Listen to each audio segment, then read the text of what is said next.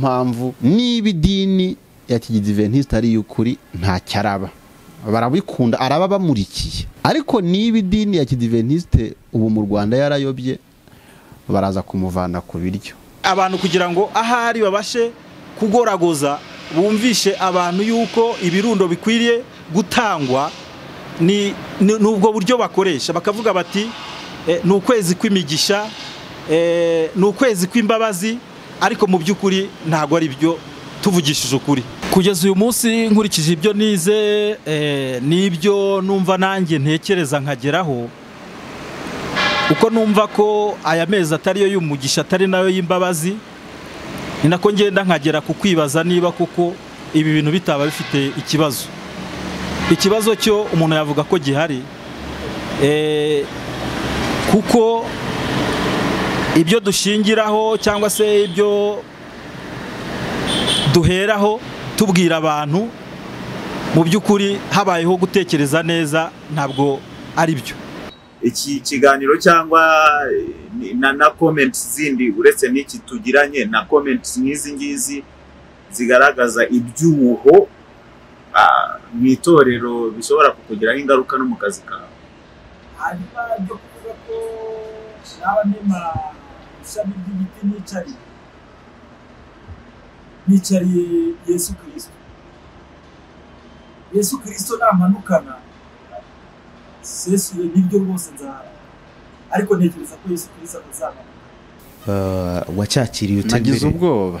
Mm. nkikibona nagize ubwoba ndanamubabarira kuko eh, nabonye ari pasiteri yego. Kuko ashobora kuba yavuze ibintu by'ukuri ariko bitemewe muri kino gihe icyo ni kimwe. Icya kabiri yavuze ibintu bihebuje kuba byiza ariko nkeka ko bishobora kumukoraho. Ariko ubundi wese arabivugaho ntabwo yahembwaga. Ese we akantu rero wenda nibajije nanjye singa cyakora nakibajije nyuma kuko yavugaga ibintu mpamya neza ko bihamya byanditswe.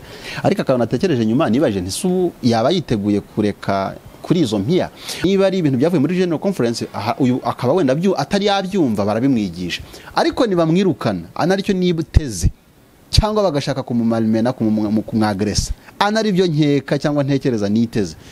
Bazaba barayobye nta kabuza.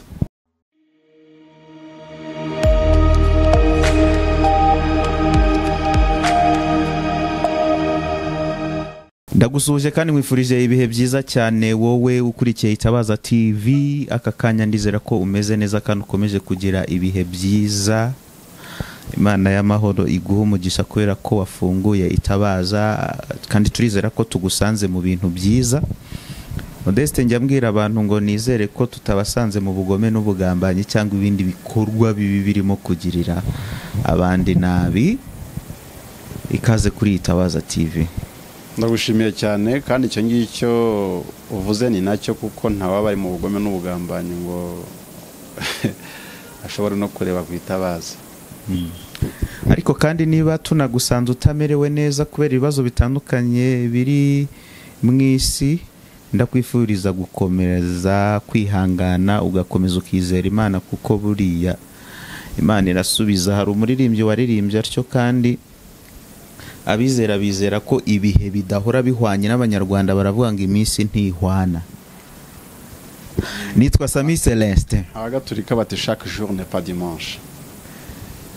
Eh, abaroma. Abaroma.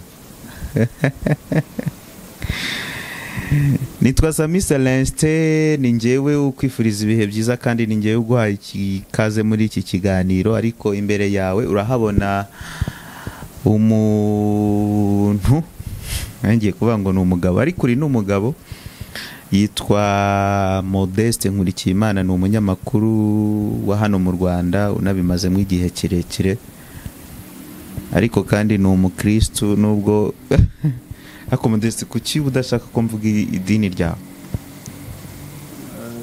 Njye nta n'iryo ngiryo wavuze waba ugiye kubeshya ahubwo wabivuze neza ndi umukirito kuko buriya bamaze kuvukira iya antiyokiya ugiye no mu byahishuwe ugasoma ibirebana n'ibihe birindwi by'itorero ry'imana ryari rimwe. Izi nzaduka rero z'abandi bagenda bibatiza bitewe n'indamu babishakamo ahari wenda bashaka gukora ubucuruzi bw'ubuntu bw'imana eh, ntabwo njye nemeranya nabo. Eh, nakwishimira kuba umukristo nyawe kuruta kwitwa ngo ku musozi horebu ngo ugize atya tujya tuntu burya ni tumwe mu tuntu umunsi wa karindwi. Yesu atigeze yemera kuko mu bihe bye itorero ryitirirwaga agace nk'ubu twakabaye dufite itorero ryo mu mujyi wa kigali. Donc itorero rya kigali. Mm. irya efeso iry'isimuruna iperugamo ituwatire kuruta kujya gukora itondangingo ngo ngo irye ngo ngo ngo iryo ku musozi jari ngo utwo ni utuntu n'utundi.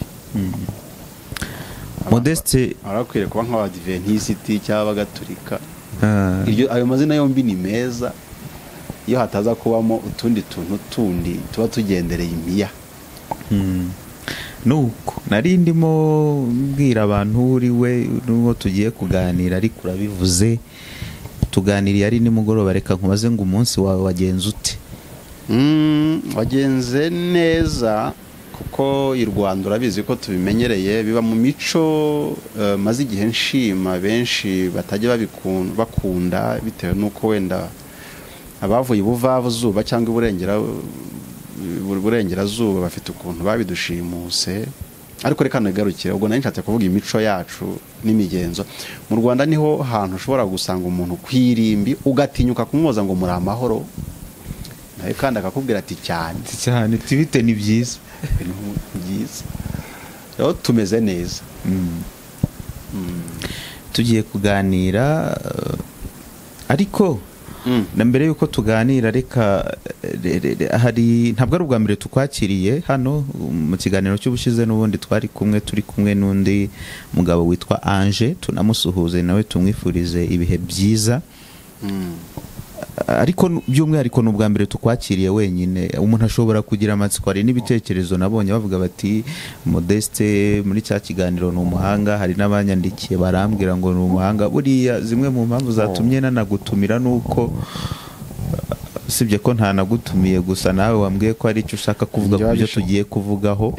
Iyi ngingo numvise atari inkenekene burya nkunda kuvuga ku ngingo zikuze zifatika. Mm. Ubushake nari mbufite Mm.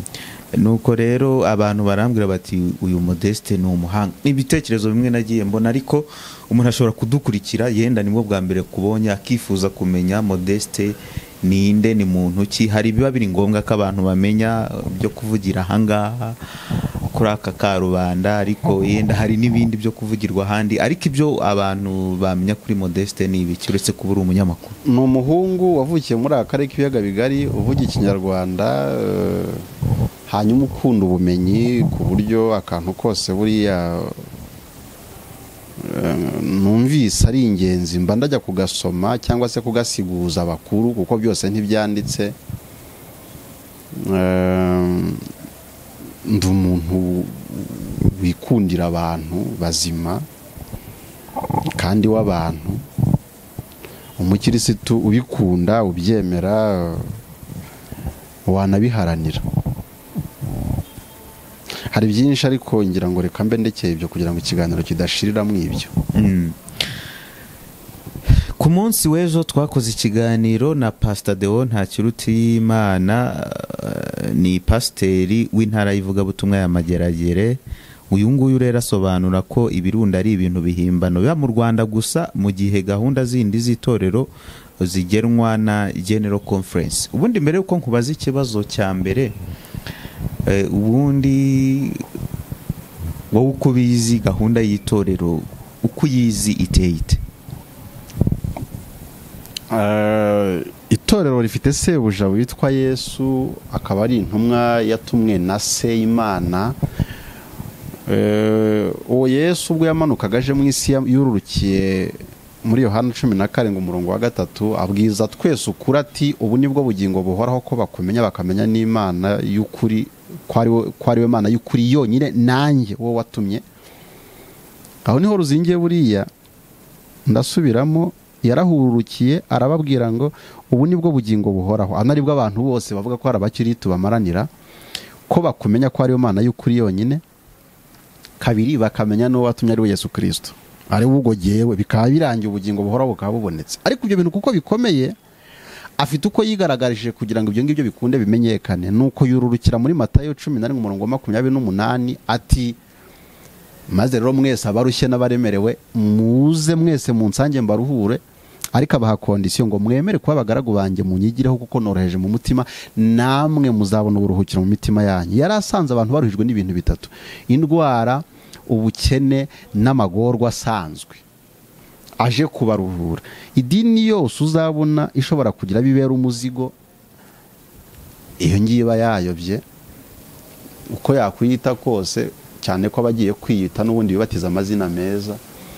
Rero eh, nemera burifuri cyangwa mu nshamake ko idini y'ukuri ari ya yindi n'ubundi yavuzwe muri yesaya ariko ntagiye kure cyane ni idini yaba iyobowe na yesu kirisito we mutwe waryo nyine.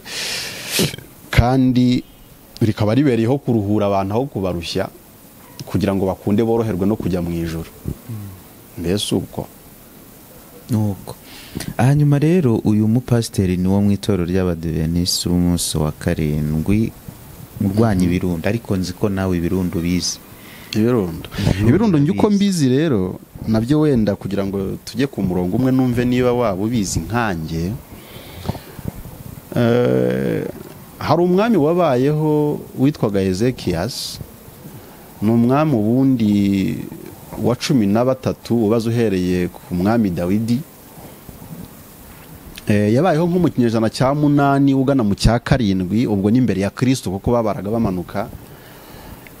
Nimvuga ibyo rero abantu bumve ko ari mu isirayeli. Mu gitabo cyitirirwa ibyo ku ngoma rero eh, ngira ngo zo mu cyiciro cya kabiri usomye nko mu gice ngira ngo cya mirongo itatu na kimwe ugahera nko ku murongo wa gatatu basobanura iby'ibirundo byabayeho. Eh, bi- bi- bi- ibirundo byabaye byarundanijwe mu byagombaga kugoboka umuryango w'abarewi Eh, bavagwamo abantu b'abatambyi. Abo bantu bakaba bataremererwaga kugabana cyangwa gufata ku minani nk'uko abavandimwe babo babifataga cyangwa se abandi bantu mu miryango yindi y'abayuda. Eh, bityo imana ibemerera ko bakwiriye kujya bibera ku ihema aho batambiraga cyangwa se bahongerera rubanda bandi bagombaga kuba baje babogoza hari ibibaremereye.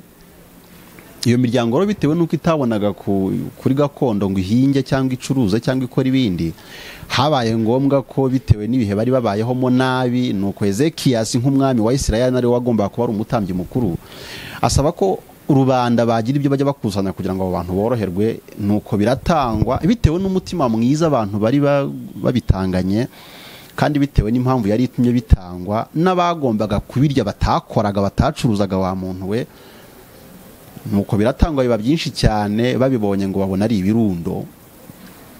Eh, hari uwabajijwe muri bo wabajijwe na hezekiyasi ati se bimeze bite? Aravuga ati kuva abantu batangira kubizana wa muntu we ni bwo twatangiye kurya tugahembuka. Kandi ibi ngibi uri kubona ni ibyasagutse ku buryo turya ni ibirundo. Nguko uko byari bimeze ibirundo rero eh, naho mbizi ni nuko mbizi ni byo agombaga gutunga abatambyi bo mu muryango wo kwa lewi batari bemerewe kugira gakondo iyo yose muri bene wabo bandi. Nta wundi murimo bakoraga nyine baragomba gutungwa n'ibyo ngibyo. Ibirundo hanyuma muri iki gihe? Uwabizana wese yaba ari umucuruzi w'ubuntu bw'imana kuko iby'iki gihe ntaho na hamwe bihari. Kereka gusa uwashaka kubis- kubihisobanura mpamvu agendereye kugira ngo abone nawe ibyamugwa neza. Ariko u- yabazanye gucuruza ate kandi muri isirayeli nabwo byaratanzwe? Byatanzwe muri kontekisi nyine itandukanye. Uyu munsi iki gihe turi kuvuga ni mu bihe bya mbere ya kirisito nyine. Ku bakirisitu barabizi neza ko kirisito yaje ubwo harashize imyaka isaga nka magana n'abayuda barayobye baragomye nabo bafite ibindi birirwamo by'ubushabitsi bw'ubuntu bw'imana. Bavuga kirisito ariyo mpamvu yesu yaje kubareba mu gihe yari yaje. Aravuga ati ubu bwoko bumvuga ku minwa gusa ariko imitima yabo ikamba kure. Bari bafite umwambaro utari ku mutima bavuga imana ariko mu by'ukuri bari hanyuma y'abatayizi. Amaze kuza rero abwira abantu ba- ati dore ngewe nimanikwa hagati y'ijuru n'isi nzireherezaho abantu bose. Kandi arangije atanga amahame. Kuva mu itorero rya efeso kugera mu cyangwa mu bihe bya mu gihe cya efeso kugera muri rawudikiya rawudikiya niyo yagawe ifite ibyo igawa ntaho turi kubona ibyo birundo byakozwe kandi mu gitabo cy'abefesi ibice bibiri umurongo wa cumi n'icyenda haranditse ngo dukwiriye kuba twubatswe ku rufatiro rw'intumwa n'abahanuzi kirisita akaba ariyo buye rikomeza imfuruka. Bivuze neza ngo ibyo abahanuzi n'intumwa batakoze kubyadukana n'inzaduka nyine uba baye nka rubanda bandi bose. Abantu kwitega ko waba uri kujyana abantu mu ijoro ubwo ntekereza ko wenda baba babitakubweho Byo- ako kagingo rero rwose ntabwo ari agakirisitu. Ko abakirisitu bamaze kubonekera antiyokiya bahawe umurongo bakoreramo kugeza byarabatungaga icyo gihe. Uyu munsi nta bantu bakiriho bameze nk'abarewi ndetse n'ikimenyimenyi ubwo Yesu yari atambwe abaye igitambo kizima hagana nk'isaa cyenda ari kimwe mu bihe abatambyi babaga bari gutambira ibitambo nyine.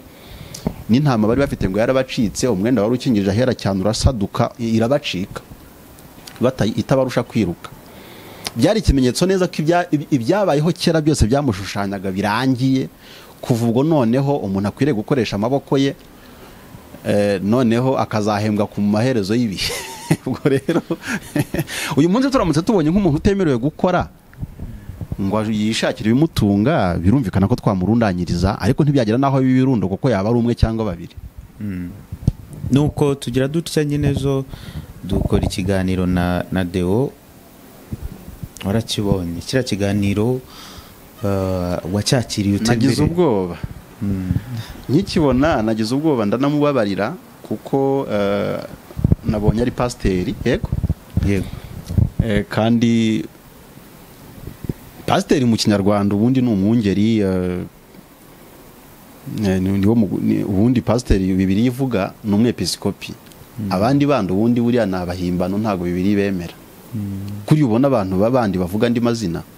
Bibiri iri kutubwira mu nzandiko zandikiwe ba timoteyo inshingano zikwiriye kuranga umwepiskopi n'abadiyakoni. Barya burya ni abantu badasanzwe bahebuje bakwiriye kuba ari imfura n'inyangamugayo byahamye ku buryo bakwiriye kuba ari abantu nyine b'imfura inyangamugayo bashoboye gutunga imiryango yabo.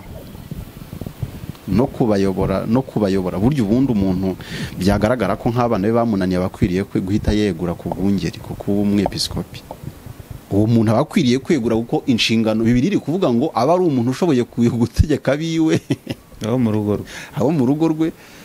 Ukunda gusura imfura mbese ubundi rwose ku buryo muri karitsiye nabo bajya babitangira ubuhamya nubwo mutaba musengana ku buryo bakureba nyine ukaba wa muntu wavuzwe muri yohana ngo nuko niba babona bahere. Ko bahimbaze so mu ijoro mbese ubundi umupasiteri umukuru w'itorero kuko ibindi bintu byo n'ayo magambo dushaka gushakisha yandi umwepiskopi nyawe ni uko aba akwiriye kuba ameze. Uriya mu mwepiskopi rero namurebye numva ngize agahinda kuko ashobora kuba yavuze ibintu by'ukuri ariko bitemewe muri kino gihe. Icyo ni kimwe. Icya kabiri yavuze ibintu bihebuje kuba byiza ariko nkeka ko bishobora kumukoraho kuko byanze bikunze abo bakorana cyangwa se eh, n'abari basanga nabo bamuha kuri izo njya cyangwa kuri ayo mafaranga bashobora nko kuza kumukupira inzara ikamwica. Turaje tubivugeho umbwire eh, aho ushingira uhereye kuri ibyo ngibyo. Ariko yenda uko nuko wabibonye hari nabonye byanatanzweho ibitekerezo byinshi ku mbuga zitandukanye nabonye ndahamya neza ko duhuza. Hari benshi turaza guhuza njye ntabwo narebye muri commentaire. Ah, reka reka ibitekerezo nk'ubu bya bya na- nabonye biri kuri iyi nkuru. Ntekereza ko agomba kwirukanwa uriya pasiteri nubwo biraza kuba biteye agahinda. Reba nk'iki gitekerezo ni kigufi. Mm.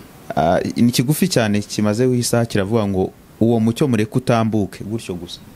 Uwo muntu ni imfura n'inyangamugayo nta nubwo nabura kuvuga ko buriya nawe amurikiwe na roho mutagatifu. Kuko uwo mucyo abantu rega bamaze igihe bari gukoreshwa mu by'ukuri ubuntu bw'imana ntibwari bukwiriye gucuruzwa. Nk'uko nabivugaga abantu barakwiriye koroherezwa kujya mu ijoro kuruta kuba baba nk'intama. Buriya itorero ry'imana mu isi rimaze igihe riyobye kuko muri ezekiyeli ibice mirongo itatu na bitanu hari aho ubuhanuzi bwaje uwo muhanuzi ni umwe mu bato abwira abantu uti dore oya muri Yesaya ni ho hatangira havuga ngo dore hagiye kuzima umwami utwazi neza ngo imfura zaba zitakitwa imfura.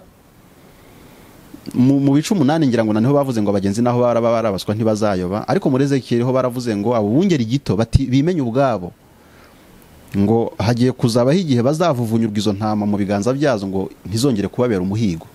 Mu by'ukuri ntabwo iyo mirongo yose iri muri bibiliya. Ariko modeste utekereza ko iri torero rishingiye kuri bibiliya n'umwuka w'ubuhanuzi rishingira ku nyandiko ku bintu bifitiwe referanse ryafata ibirundo byabayeho muri mirongo itandatu n'icyenda muri iyo myaka.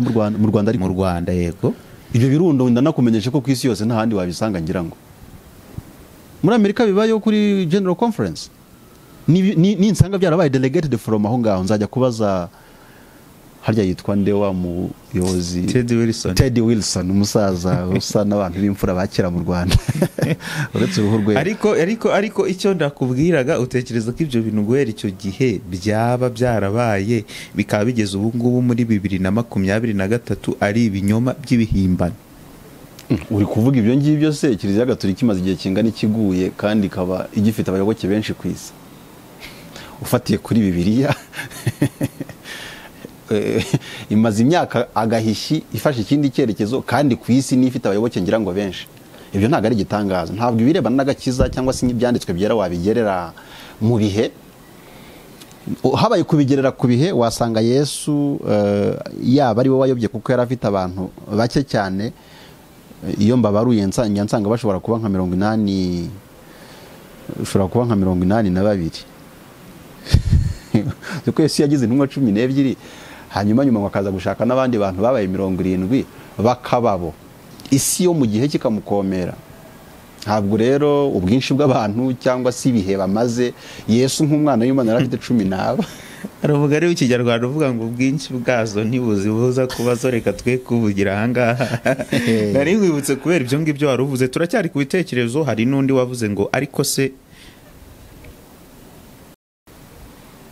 wa mugani pasito ko imisoro dutanga tubona byinshi leta iyikoresha buriya bwacya tu- buriya bwacya tukabona umuhanda bwakongera guca tukabona amashuri yubatswe na leta biturutse ku misoro dutanga.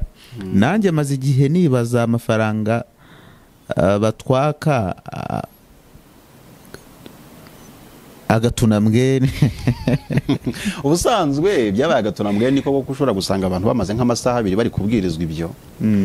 Aho kugira ngo bamare umwanya muremure bari kubwirwa kwihana ibyari byo ngo babwirwe ko bibanzirizwa no kumva uburibwe bw'icyaha kubyanga no kubireka ngo babwirwe eh, uburyo yesu yabambwe ku musaraba n'icyo yari apfiriye abantu babwirwe ibyo birebana no gutsindishwa n'ubuntu bwo kwizera ugasanga abantu bari kubwirwa bati utabitanze mwa bantu mwe. Ibyo kwezi bintu- kw'imbabazi kugiye kurangira kuragucitse. Urimo umwenda. Ah, ukwezi kw'imbabazi yivwara hakunda kubaho tekinike zo kubisobanura ariko mu by'ukuri eh, mbaye nk'uwigarukira uze kunkurikiranira neza. Mpamya neza ko byanze bikunze pasiteri uyu nguyu ashobora kuba ari mu mage mu birebana n'idini. Namara ukwezi cyangwa abiri cyangwa umwaka atimwa ibiryo. Ariko ubundi wese arabivugaho ntabwo yahembwaga. Arahembwa. Ese we aho- a- akantu rero wenda nibajije nanjye singa cyakora nakibajije nyuma kuko yavugaga ibintu mpamya neza ko bihamanya byanditswe. Ariko akantu natekereje nyuma nibajije ntise ubu yaba yiteguye kureka kuri izo mpiya ariko nubwo yaba atiteguye kuzireka ni byiza ko atanga umucyo kuko inyoroshyo birashoboka ko yakwemerwa ariko itiswe umushahara kandi inyoroshyo ntibe regiliye ngo wenda ibe ukwezi ku kundi. Kuko Pawulo turi kubona ari kuvuga ati murabizi neza ko jyewe ntawe nigeze ndemerera. Nakoraga nshebeka mboha amahema ngo hari mbona ibintunga kugira ngo ntagire uwo ndemerera. N'abandi bose ntekereza ko muri bibiliya izo ntumwa n'abahanuzi babayeho ntawe. Icyakora muri ruka handitsemo ko ibiko ibihembo by'abakozi b'imana ari ibiryo. Ni ukuvuga ngo buri ugiye ukajya kubwiriza wagera ahantu bakavuga bati nyabuna ni karibu bakaguha ibyo kurya ku mbeho ukabona urabiriye ugahaga ni byo biba ari ibyo. kandi isezerano rikavuga ko imana itazemera ko ukorwa n'isoni waba hari inzira bizanyuramo iyo ukorera soni ubundi mu by'ukuri ntawakaba yahemba umukozi utamukorera. Ababwirizabutumwa bakorera imana ntabwo bakorera abantu. Abantu abakozi babahemba bate? b'imana. Eh, abakozi b'imana bakwiriye guhembwa na sebuja kandi bazahembwa ubwo abakiranutsi bazaba bazutse.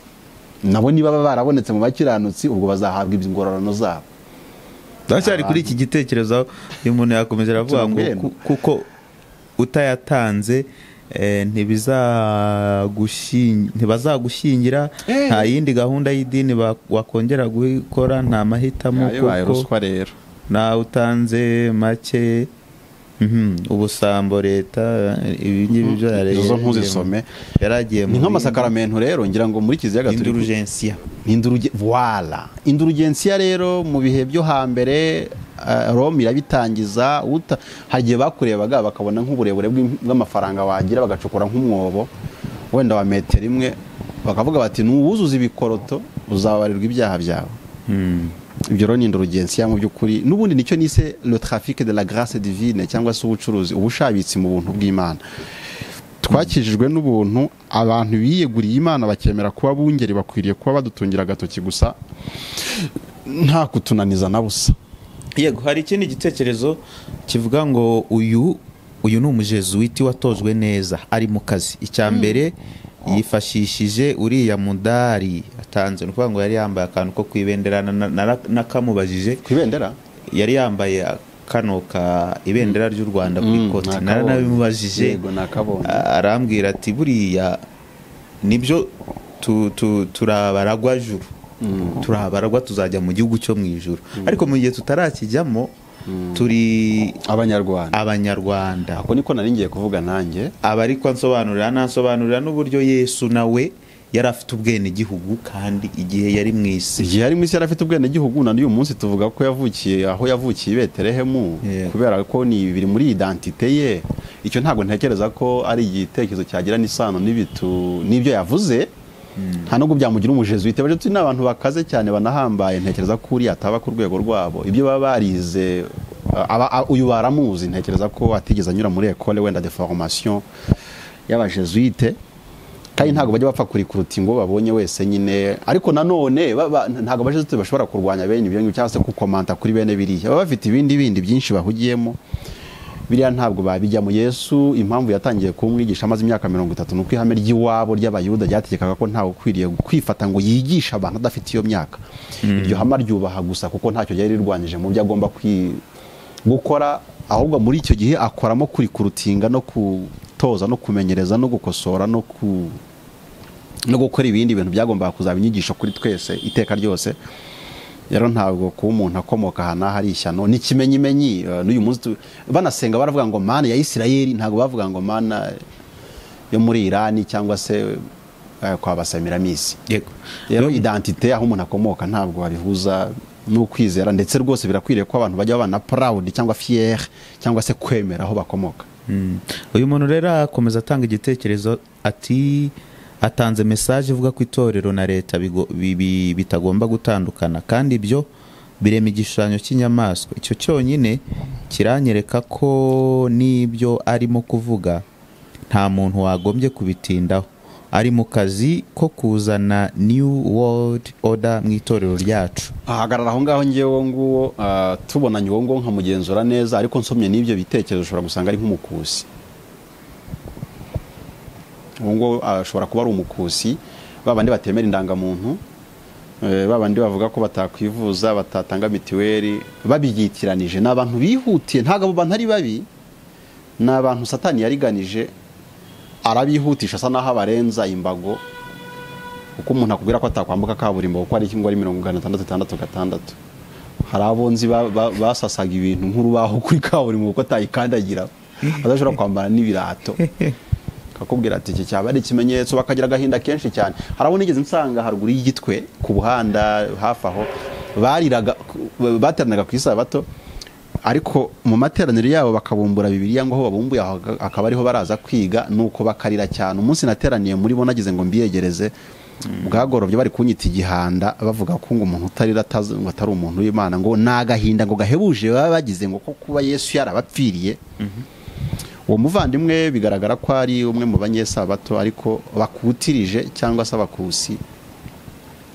Icyo gitekerezo atanze nawe ubwo duhuye buriya yagisobanura ariko ngewe icyo namuvugaho ni uko eh, ibyo ari guhuza bisa naho bidahuye ntabwo ari ikimenyetso ikimenyetso cy'inyamaswa ntabwo cyaba eh, akabendera k'igihugu uvukamo ntaho byaba bihuriye. Yenda iki gitekerezo cy'uyu muntu ni kirekire ntabwo nshaka ko tugitindaho cyane ndashaka ko tureba n'ikindi cy'undi muntu wavuze ngo iyo umuntu ashatse kuyobya abantu areka gusoma ibyanditswe agakoresha amarangamutima ye. Ntabwo bavuga urwandiko rwa mbere rw'ibyo ku ibi ngibi byo yenda nta ntuzize ni nk'uko umuntu yakwibeshya. Ati ntabwo bavuga urwandiko rwa mbere rw'ibyo ku ngoma bavuga igitabo cya mbere cy'ibyo ku ngoma ariko arakoze. Yego arakoze cyane ubu gukosora burya bari sawa. Ati ntekereza ko uwo mugabo yakagombye gutandukanya inyandiko aha. Ahubwo uyu nguyu ikindi gitekerezo yatanze nshaka ko na cyo uza kukivugaho ah, yavuze ngo mbese ubusonga bwawe bwifashe bute mbese mu mwaka ushize waba waribye imana icya cumi n'amaturo? Niba waribye uwiteka subiza ibyo wibye. Kora uko ushoboye kose wikiranure n'imana. Kubw'igihe hasi hari referanse kubw'i- kubw'igihe cyashize uvanemo ibirarane. Hanyuma usabe imana kukubabarira. Mbese ntuzasubiza imana ibyayo mbere y'uko kugira ngo byorohe yihutire kureba referanse kuko icyo kintu ari kuvuga ntabwo gishobora kuboneka muri bibiliya. ni Ellen White inama ku busonga paje magana mirongo inani n'icyenda. Ariko biragoye kwemeza ko icyo kintu ari igikirisitu kuko Elena White hari ahantu yanditse ngira ngo ni mu bihamya cyangwa se eh, muri selected messages. Aho yavuze ko igihe kizagera ntiyishingire inyandiko zose kuko hari abantu ngo bazajya basemura inyandiko bakazita ukundi. Mm. so ikintu cyose gihabanye na bibiliya muri selected message eh, umugabane wa kabiri hari aho yavuze ngo nitujya dusoma ibintu nk'ibyo byose bitajyanye na bibiliya ngo tujye twita ku gihe n'ahantu kugira ngo dushobore kumenya context byavugiwemo cyangwa se impamvu yabivugaga. Ntabwo rero uterura ibintu byose byanditse mu gitabo cya Elena White ngo bigire fondasiyo y'imyizerere ahubwo eh, wita kuri context n'ahantu hose. Ubwo rero ibirebana no kuvuga ngo nk'ikintu yaravuzemo nyine impamvu nakigizeho ikibazo hari aho yavuga ngo kubyishyura no kugira gute. Nta ibyacu icya cumi ni itegeko ryera ariko nta mpaka ziza hagati ya, ya, Modeste na Celeste ku birebana n'icya cumi cya Modeste. Ni naho pasiteri yahereye avuga aravuga ntabwo ati ngiye kuba naribye icya cumi bishobora kuba umusingi wo kwizera cyangwa se ibintu twajya kwigisha. Pasiteri yaravuze ngo umuntu wibye icya cumi cyangwa ukiriganyije nuko aba ataramenya imana. Iyo ayimenye aba akwiriye kwigishwa kumenya imana agasigara abikunze kuko igihe bahamagazaga ngo hubake urusengero urabyumva neza bitewe n'uko abantu bari bazi ibyahari ibyo barabitanze birasaguka. Na biriya birundo bitewe n'uko abantu bari bari kumva reason behind impamvu ibiteye barabitanze nyine biba ibirundo ba- bakabirya ntibishire. So icyo uba ukeneye ntabwo aba ari ukubwira umuntu ngo umuto- ngo umutonganye ahubwo aba ari ukumwigisha yesu kirisito amaze kumumenya amenya impamvu yabyo ni uko hano kuri iyi kamera ari hatoya nako umwanya wabwo waba mutoya ariko a second mu kanya gato cyane iyo umuntu amaze kumenya ko yesu mu gitabo cy'ibifuzwa ibihe byose ngira ngo ni magana arindwi na karindwi mu kinyarwanda haranditse ngo abantu nibamara gusobanukirwa impamvu zo gupfa kwa yesu kirisito n'ukuntu yabitangiye ngo bazasigara urukundo. Uko yadupfiriye ngo biziburungushurira muri twebwe noneho ngo urukundo rwe yadukunze ngo ruzatwimukiramo tumenye kumukunda tutamutewe no gukumbura ijuru cyangwa se ibyiza tuzabonayo ahubwo tumukunde dutewe no gusobanukirwa neza ibyiza yatugiriye. Yesu yaraje urumva ageze mu isi afata imyenda yose twari dufite muri banki aravuga ati none mukore ku byanjye mubyishyure. Umuntu rero amaze gusobanukirwa ukuntu yishyuriwe umwenda yari ari hafi guterezwa cyamunara. Ntabwo biramutse yari nk'umurima w'igisheke yari afite. Ntabwo abantu batambutse bagacaho ibisheke bibiri yagira ikibazo. Ndetse urebye aho yesu iyo umuntu amaze gusobanukirwa aho yesu yamuvanye we ku giti cye yaharanira kuvuga ati reka aho njye no gutegera ku nzira abashonje bose njye mbibahaho ntabwo byongera kuba intambara mu birebana no gutanga. Ahubwo impamvu abantu kugeza uyu munsi bashobora kugira n'ubugugu ni uko uba utarabigisha ibyo wagombaga kubigisha. Uyu ati niba ari ari pasiteri mu badivantiste koko? Niba ari pasiteri mu badivantiste koko? Iki kiganiro ni icya nyuma atanze yitwa pasiteri mu badivantiste ibi bintu reka mfatire kuri iki iyo ngingo gitekerezo. si inkirisitu Eh, nta nubwo yaba ari indiventisite tubaye turi kuvuga abadive nyirizina mm. ariko komeza wari ugize uti hari ikintu ugiye gufatira aho ngaho. Nashaka gufatira aho ngaho ariko uyu reka- muntu niyirukanwa abo baraba atari abadive nyirizina. Baraba ari ku izina. Abadive bavugwa ba bandi bitwa bategereje kugaruka kwa yesu nanjye ni ho nashaka gufatira nkakubaza kuko na, na, nawe mu kanya wavuze ngo ngashobora kujya mu kaga.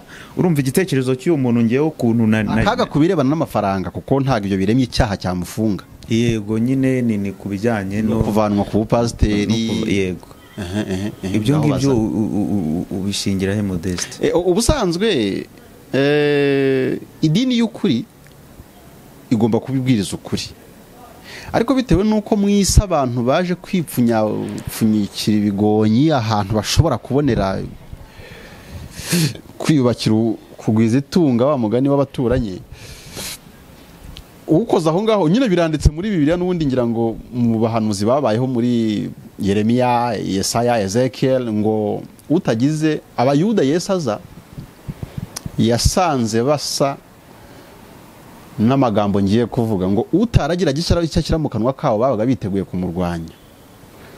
Mu ntambara ikomeye abadive bizereramo hakaba hari nk'amagambo avuga ngo abadiventisite b'iki gihe ni ipica y'abisirayeli ba kera. Hariho ahantu bigenda bihurira ariko uh, icyo gihe baba bavuze idini ariko abantu b'imana baba bagumyemo tu. Icyo gihe rero iyo umuntu w'imana agerageje kuvuga bene ibyo agirirwa nk'ibyo abayuda bagiriraga. N'umwana w'imana igihe yari aje. Babwiye pirato pirato yesu igihe bari bamureze pirato yabonye yesu ko ari umuntu w'imana. Ariko kubera ko ibintu bya demokarasi icyo gihe yari umunyepolitiki. Yaravuze ati rero uyu muntu niba avuga ko ari uwaba nabo bakaba bakabaye nibo bakabaye bamuha amajwi. Ati none mugenze ntera. Bati wowe tubamburire pirato naho yabambwe rero ukura kenshi ntabwo kuba kwiteguye kumvwa cyane iyo ukoze ku birebana n'ibiryo by'abantu cyangwa impiya z'abantu. Niyo mpamvu niba idini ya kigidiventisite ari iy'ukuri ntacyo araba. Barabikunda araba bamurikiye. Ariko niba idini ya kidiventisite ubu mu rwanda yarayobye baraza kumuvana ku biryo.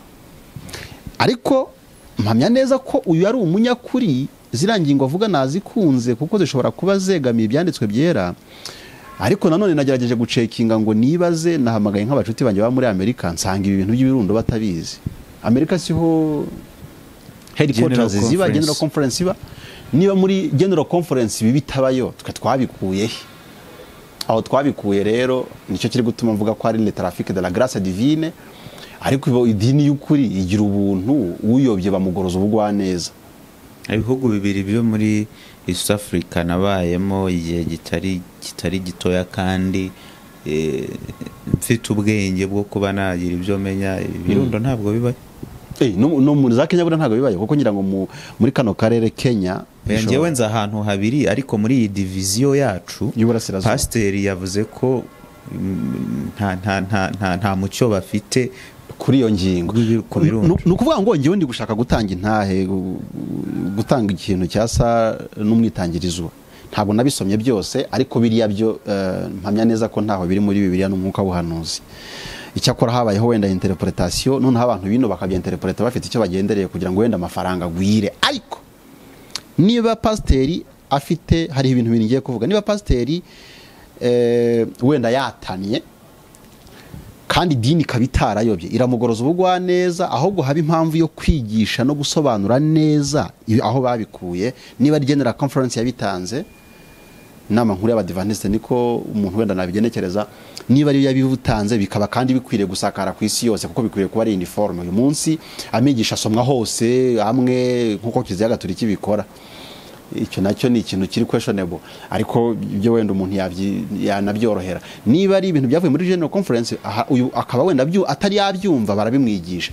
Ariko nibamwirukana anaricyo niba uteze cyangwa bagashaka kumumarimena kumu- kumwagresa. Anari byo nkeka cyangwa ntekereza niteze. Bazaba barayobye nta kabuza. Kuki ari byo witeze modeste? Nuko eh, amadini menshi amaze kugira abungeri gito nk'uko muri ezekiyeli byavuzwe mbese aragenda agera ikirenge mu cy'isirayeli ya kera. Aho nyine usanga abantu ba- ba- ba- barangamiye in- inyungu kuruta imitima. Kuko biranditse muri yo muri matayo cumi n'umunani ngo mwene so naguhemukira. Wenda ibyo ngibyo bivuga ku birebana n'ubuhemu hagati y'abantu n'abandi. Ariko baravuze ngo naguhemukira umusange we wagiriwe nabi ni we usaba kumusanga kuko bisa n'aho ari we uba uri kuyoba. Ababaye yantama imwe muri mirongo mu ijana. Urabyumva neza ababaye umwana w'ikirara. Nawe umwana w'ikirara arashakwa. Umuntu uyobye arahigwa. Bari gusobanura uwo murongo mu byakozwe mu wifuzwa ibihe byose. Baravuze ngo umuntu nk'uwo nguwo uyobye ni we ukwiriye gukundwa urukundo rudakunzwe abandi bitewe n'uko ngo nitu ngo nitunibeshya akayoba ngo im- umutima we tuzawubazwa kurusha ngo tuzaba babi kurusha we. Na hahandi kandi yageze nyuma yaho kuko muri uwo murongo baravuga ngo mu musange nyuma hari aho mumusengera mukamwakira ariko kondisiyo mu bifuzwa byose baravuze bari gusobanura uwo murongo ngo muzamurinde ikintu cyose cyamusebya cyatuma ngo abari bene se. N'igihe donko yamaze kunanirana. Niwe dusabwa gukunda cyane niba turi abantu b'imana cyangwa turi idini y'ukuri. In fact ni we ubaye nk'umunyabyaha ari we yesu yaje gupfira asize abakiranutse you see? Donc a- a- igikorwa ko amadini yayobye ni uko umuntu utaniye bakomera bati mujugunye akavura n'imyambi. Mu gihe uwari wakabaye akundwa kugira ngo ashakwe agarurwe mu rwuri ahatoshye hameze neza kugira ngo nyine ashobore kongera kugaruka. Ko ni tuba dushinzwe by the way. Uwo ngo niba turamutse yesu ati nimukomeza gukunda b'igikundiro cyangwa se abazima ababakunda ababubaha mujye mwikomanga mu gatuza muvuge ko muri abagara ko bi- bimbura mumaro mu yandi magambo iyo ukunze mwene so w'umudiventisite iyo umuzirikanye uwo nguwo muri kumwe uba uri umugaragu w'imburamumaro uba ntacyo wari wamara mu ijoro haba handitse zeru. Bigira agaciro gusa iyo ushoboye kugaruka bari kugarura abari ba- abari bari guhaba ugashobora kwita ku batazi ubutumwa n'agakiza ni bwo uba ubaye umuntu w'imana umukiritu nyirizina umuventesi hari igitekerezo nahawe n'umupasiteri ubwo ni umupasitori mugenzi we. Mhm. Ndashaka kukigusomera na cyo ukagira icyo ukivugaho. Ah, yavuze ati uyu numvise neza iki kiganiro. Ikibazo afite si ibirundo ahubwo muri we harimo ikibazo cyo kuba umurakare eh, ko no kumva se agaruka. Aha. Gisome neza. Ikibazo afite si ibirundo muri we harimo ikibazo cyo kuba umurakare ko numva se agaruka ku cyene wabo uturere n'ibindi. Eh. ibyo yabisomye muri bibure reka dutegereze ariko ashobora kuba afite gahunda yo kurefitinga igipasitoro akaba yashatse urwitwazo ku birundo. Ariko ntarakomeza iki gitekerezo cyo niba urwitwazo ku birundo uh, rwaboneka kandi rukagaragara rukanagira ishingiro ubwo ntibyaba birimo ikibazo? Eh, n'ubundi biranditse ngo ku ruhande rwanyu mwe mushake uko mubana n'abantu bose amahoro. Iyo bibiri iri kuvuga kuri individualize ku muntu ku giti cye. Ariko idini y'ukuri yo ikwiriye kuba ntabyo abantu bayireporosha ntacyo abantu bayishinja. Icyakora nanagarutse analize na yo ngomba kuyubaha Eh, ati reka dutegereze ariko ashobora kuba uh, afite gahunda yo kurefatinga igi- igipasitoro none se ikibazo wibaza imyaka hafi icumi amaze uyu munsi ni ho ashoje ni ho ashoje ubushakashatsi ku birundo. Iyo ngingo yo- ntabwo nayemera uwo pasiteri nawe iyo ngingo avuga inkenekene iyo, turi kumwe ura- uravuga ngo ni inkenakene iyo ngingo ni inkenekene kuko eh, ariko hano byumvikane neza tureba ibitekerezo icyo tugaya ni ibitekerezo by'umuntu ntabwo tugaya umuntu. Oya rwose. Ahubwo deal with ibitekerezo bye yatanze. Yego ntabwo dukora atake ku muntu turakora atake ku ngingo. Ariko ariko se reka ikibazo nakubaza ahangaha modeste ese nshobora kumara imyaka mirongo ine ndi pasitoro ariko nkakira ukuri kw'ijambo ry'imana cyangwa nkamurikirwa mu mwaka umwe? Birashoboka? Oh. ntibishoboka. Cyane birashoboka. N'ikimenyetso yagiye mu ijoro intumwa zizikira abapagani. Uzijya ubuzima bwazo. Umunsi umwe umugoroba umwe yesu bamutaye muri yombi zose ziratatana uretse petero. Ubwo bari ba- baramwumvise se? Ubwo kandi bari kumwe na yesu umwana w'imana. Yuda yagiye kwimanika ku munota usa n'uwa nyuma se batamaranye igihe? Imyaka itatu ntiyari igiye gushirara? Eh, eh, abantu nk'abo babaho cyane ariko reka mbaransenye mbohereze mu ntambara ikomeye bazasoma igitekerezo cy'aba- cy'abagabo bagiye kubwiriza ubutumwa ngira ngo ni wezire. Yagiye kubwiriza muri amerika avuye i burayi ari nka resepasi yo kuba yaragaragaraga mbere hose nk'umuntu mu by'ukuri wari perfect. Ageze mu bwato bari kwambuka bari ba- ubwato bukubitwa n'umuraba ukomeye cyane. Yari kumwe n'abantu imiryango y'abasenga bitwaga abamorave. Abamorave bari abantu bari barasobanukiwe yesu kirisito bari bazi ko gupfa ntacyo bibabwiye as long as baba bazazukira ubugingo buhoraho. Yaragiye arabwiriza ariko agezeyo agarutse yasanze ngo yari umupagani kandi yabwirizaga. So mu by'ukuri yaje kujya kubashaka nyuma baramubwira bati twebwe. Donc yarababajije nyuma none se ko twe twari dufite ubwoba twumva tugiye gupfa? Mwebwe nkaba nabonaga mwateraga indirimbo mukaririmba mukanahimbarwa twe turi guterwa hejuru n'abana banyu nta bwoba. Avuga ati burada twebwe rero ibireba no gupfa ntabwo ari bizinesi yacu. Twapfa twabaho. Ibyo nta na iyo umuntu yamaze kwakira yesu kirisito donc nari nshatse kuvuga iki? Ushobora kumara imyaka myinshi ukora imirimo izaba imfabusa ukaba rwose ubirimo ariko bitakurimo Eh, no muri bibiliya hari ibihamya byinshi nabona eh, natanze icya mbere cy'uko yesu ubwe umunsi intumwa za yesu zabaye nzima umunsi zabonye umwuka wera. Mbere bari abantu bari aho bashobora gukora ibintu nk'iby'abantu barya ibiryo bakaryama nta kuko iyo baza kuba ari bazima ntabwo yesu yari gufatwa bazi iyo baza kuba bamuzi ntabwo bari kwiruka bakwira imishwaro. Rero ntabwo rwose imyaka ushobora kumara imyaka ijana kuwa mirongo icyenda n'icyenda akaba ari kumenya yesu. Kandi kare kose wagendanaga bibiriya utumva. Akomeza aravuga ati twibaze iki kibazo nka pasitoro buriya ni bwo buryo yize bwo gukosora itorero. Ellen White ati urikozeho aba akoze mu mboni y'ijisho ry'imana. Reka dutegereze ibye. Ariko bishingiye ku bihamya dufite ntibyemewe ko ubaye hari n'icyo unenga itorero ujya mu bitangazamakuru. Ibyo bihamya afite ni ibikirisitu buriya cyangwa ni ibihamya ufite bya nimero ye ayimpe mushyire mu mucyo. Aha ako kantu avuze ni sawa. Ako kanyuma ni sawa cyane. Ariko ibirebana no kuba avuze ngo ibihamya bafite eh, bibiliya mu byahe ariko reka reka nanakivugeho ubwo urabitwarira hamwe. Pasitoro sinzi niba uyu mugabo nubwo avuze ko uyu mupasitoro avuze ko yakurikiye ikiganiro ariko hari agashobora kuba kamwisobwe. Pasitoro avuga ko ya u pasita deo nyine twaganiriye agaragaza ibibazo biri mu birundo avuga ko yagerageje uko ashoboye kose kuvugana na- na- n'abandi bantu akabereka ati nyamara ibi bintu dukora Mm. ntabwo ari byo ni iki?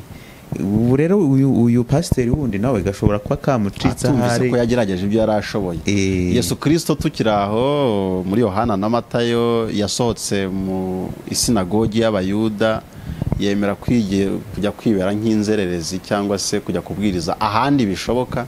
Bitewe n'uko bari banze. Uyu munsi ntabwo ntekereza ko nanone ushobora kujya gusobanurira abantu ibintu n'ubundi bubatse batabivanye muri bibiliya ngo wibwire ko barabikosora. Icyo ni kimwe.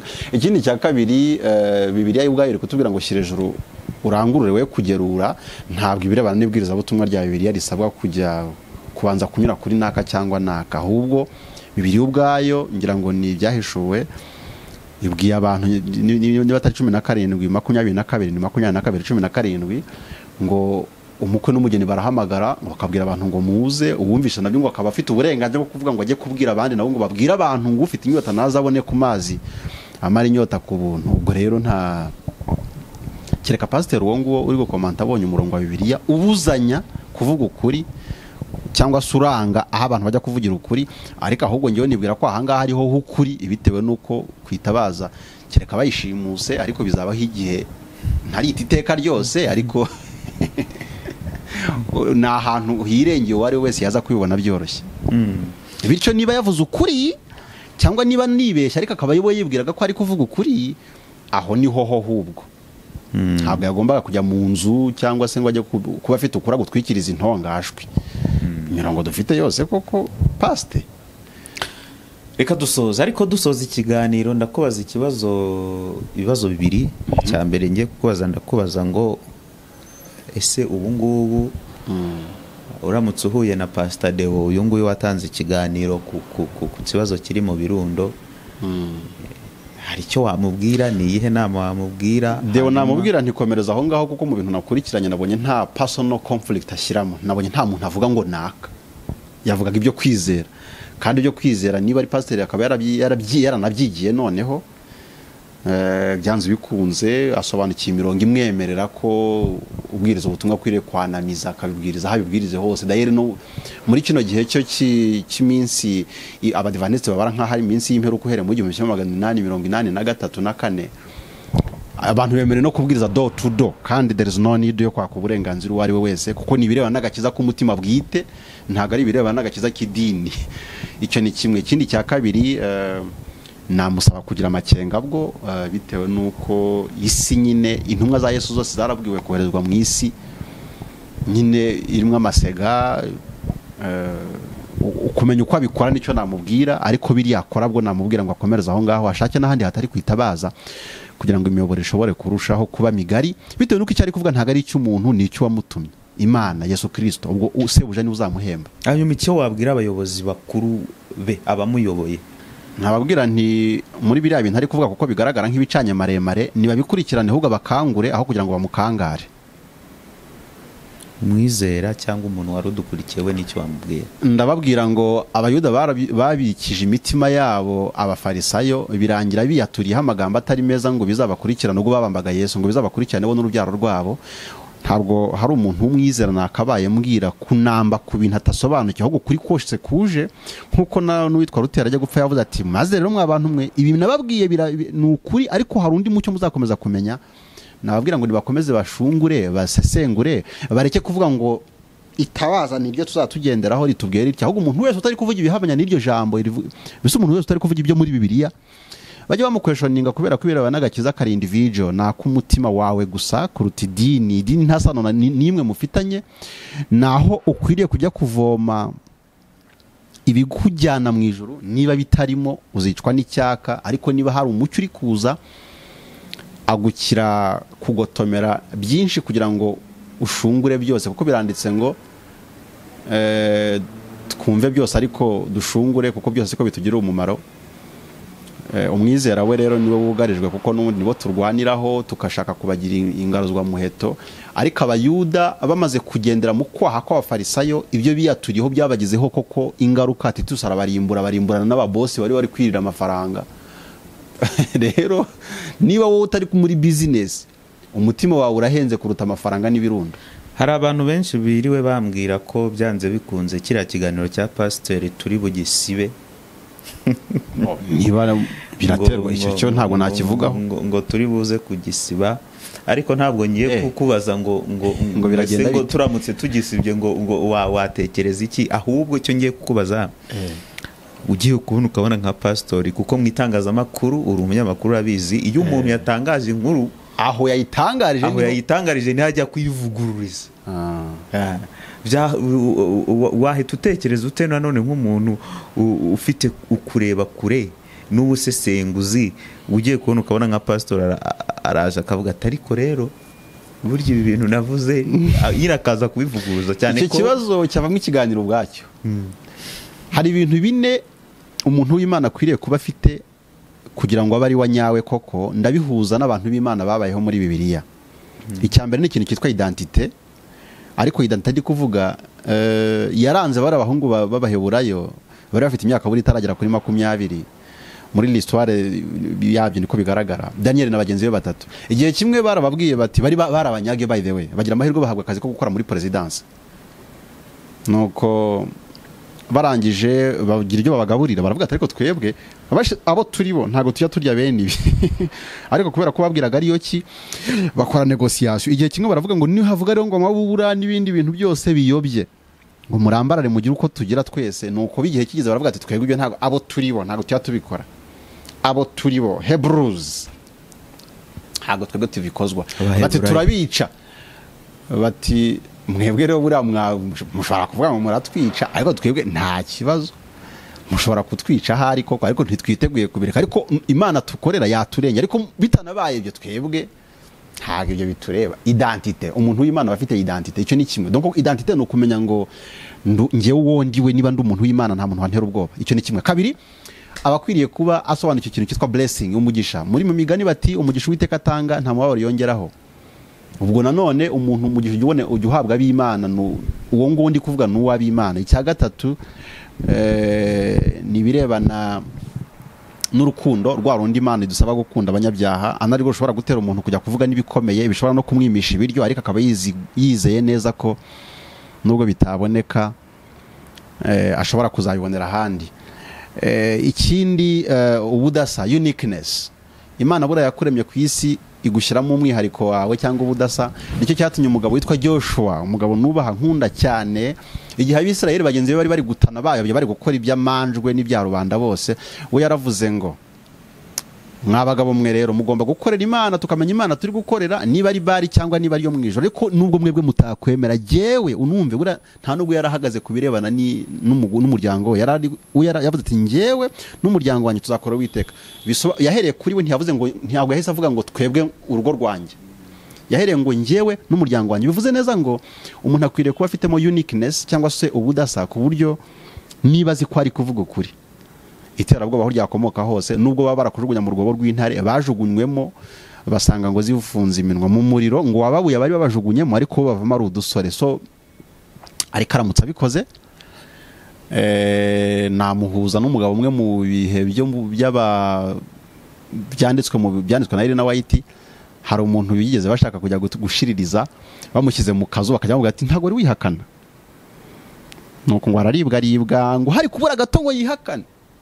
Worms ni ruteri ah baravuga ati sha kama mbaya mbaya. Birangira ko kahamije imana ariko hari igihe ubura imana ishobora kukumurikira ukaba wari ugiye gukiza benshi ariko amagambo uraza kuvuguruza akaza kurimbuza abarenze abo wari gukiza ariko nyine bisaba kuba ufite uniqueness uba ufite urukundo rwa nyarwo usobanuye- usobanukiwe umugisha imana itanga ariko unasobanukiwe unafite kwizera muri wo imana faith. Ni bitanu faith uniqueness identity love and the blessing.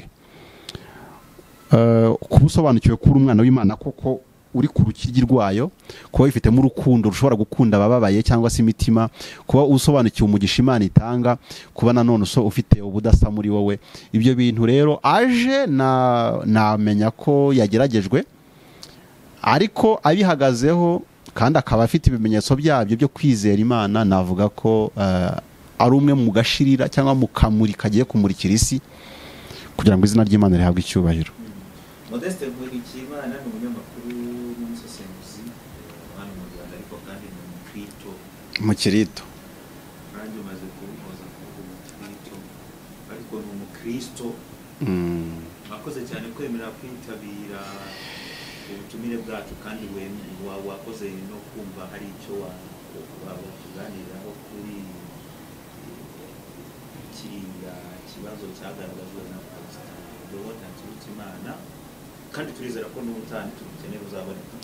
Eh, ku birebana n'ubukirisitu bwo nta nubwo bizigera bikugora. Mbikunda cyane bihebuje kuruta ibindi byose kandi eh, ni n'amahirwe aba akomeye nanjye kuri njyewe kubera ko biranditse nanone ngo uko tugize amahirwe tujye tuvuga ijambo ryose ushobora kugira benshi ryakiza. So why not me? Kuki njye ntabikoraho? Bagira amahoro. Hari akantu uvuze ujya gusoza numva karanka bakabya ahantu. Pawulo yigeze aba mu nteko y'abayuda yitwaga sanedere navuga ko yari nk'umusenateri yari umunyepolitike. Amaze kwica stefano ni bwo yaje kuba umuntu w'imana. Igihe kiragera abayuda baramutinya cyane bitewe na elokansi yagiraga yari umuntu udasanzwe. Imbaraga za gisore n'ibindi byinshi nuko ageze za korinto aba abanyakorinto n'abandi bantu batangira kujya bamugota bamwangisha abantu kubera ko bari babonye ibintu ari kuvuga bizabavana ku biryo cyangwa se bizica umugati wabo. Nuko arabikurikirana ariko ah, ageze i atene mu bugiriki bitewe nuko bari abantu bajijutse. Bajijutse siriteple amasivirizasiyo menshi ni ho akomoka. Nuko bamujyana i areopago baramwicaza ngo bazana abanyamakuru ni abantu nagereranyije nk'abanyamakuru. Abantu b'ingeri zose abafilozofe abanyamakuru n'abandi bose n'abahistorien bamuhata ibibazo ariko bamuteze amatwi bari kwandika ngo kugira ngo baze kureba ni ho yanditse ngo iyo yageraga ku bacurabwenge yasubizaga nk'umucurabwenge. Ku bahanga nk'umuhanga ku baswa akigira nk'umuswa kugira ngo buri muntu wese amusubize accordingly. Nuko igihe kiragereza kwandika aravuga ngo abibero yabo bari beza cyane kurusha abandi nguko bashashaka mu byanditswe byari ngo kugira ngo bamenye ko ibyo tubabwira ari iby'ukuri. Abantu bakeneye kumera nk'abiberoya bakamenya neza ko agakiza kabo katazabazwa pasiteri cyangwa padiri cyangwa undi mukuru w'itorero. Agakiza kawe kazakubazwa wowe ubwawe. Abantu bakeneye kuba maso bakamenya ibyo umuntu avuga bakirinda kugenda mu kigare batukana cyangwa se batwama ahubwo abantu bakeneye kujya bareba umucyo wose uje bakawukritisayizinga bakawugerenzurana ubwenge n'ubushishozi kugira ngo barebe niba byabakiriza. Umutima cyangwa byabaha icyerekezo kibakangura kuko turi mu gihe cy'umucyo mwinshi cy'amasirimuka ariko cy'ubujiji bwinshi. Nakumva ko nanumvise nakongeraho papa Ernest